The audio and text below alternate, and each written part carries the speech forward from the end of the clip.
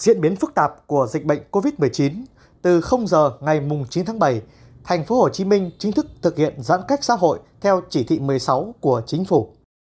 Trong bối cảnh này, Tổng công ty Điện lực thành phố Hồ Chí Minh đã kích hoạt kịch bản khẩn cấp, vừa đảm bảo sản xuất kinh doanh, vừa tuân thủ nghiêm các yêu cầu về phòng chống dịch. Đặc biệt là đảm bảo điện cho các bệnh viện, cơ sở y tế khám chữa cho bệnh nhân nhiễm nghi nhiễm COVID-19.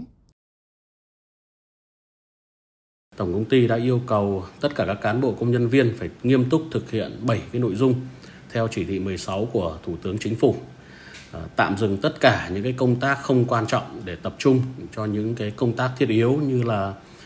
cung cấp điện cho các địa điểm chữa bệnh, cách ly, các cái điểm chốt phòng chống dịch,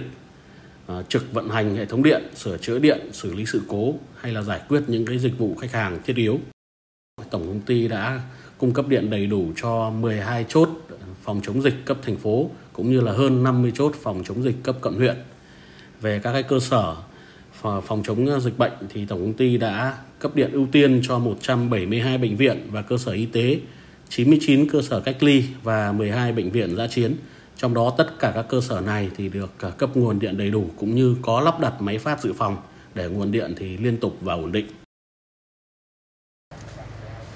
Tuy nhiên, để đảm bảo cấp điện trong điều kiện dịch bệnh vẫn căng thẳng như hiện nay,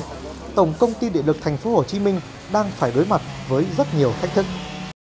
Thứ nhất là cái thách thức phải nhanh chóng cung cấp điện ngay khi có yêu cầu của chính quyền địa phương.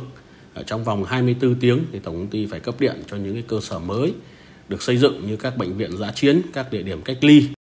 Khó khăn thứ hai là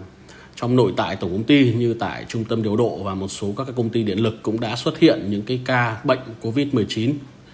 nên là phải à, lập tức là khoanh vùng à, cách ly dẫn đến thiếu hụt lực lượng trong điều hành sản xuất cũng như trong à, trực tiếp sửa chữa điện.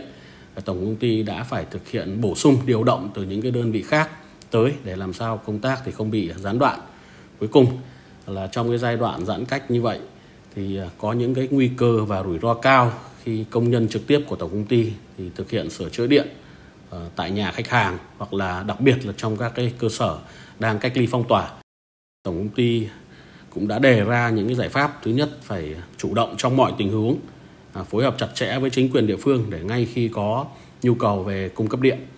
thì lập tức đáp ứng cho những cái cơ sở phòng chống dịch. Thứ hai, những cái bộ phận trọng yếu như là trực vận hành điều độ hệ thống điện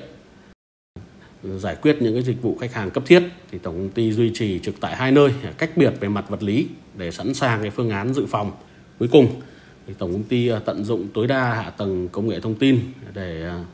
làm việc từ xa hiệu quả, cũng à, khai thác tất cả các hệ thống tự động hóa lưới điện để giám sát, điều khiển hệ thống điện mà không cần tiếp cận thực tế hiện trường và cũng như là cung ứng đầy đủ các cái dịch vụ khách hàng qua hình thức trực tuyến. Đến nay, nguồn điện vẫn đang được Tổng công ty Điện lực thành phố Hồ Chí Minh đảm bảo an toàn, chất lượng, phục vụ nhân dân và các bệnh viện, cơ sở y tế, khu cách ly bệnh nhân COVID-19 trên địa bàn thành phố Hồ Chí Minh. Điện lực Việt Nam EVNews sẽ cập nhật tình hình và gửi tới quý khán giả trong các clip sau. Kính mời quý vị chú ý theo dõi.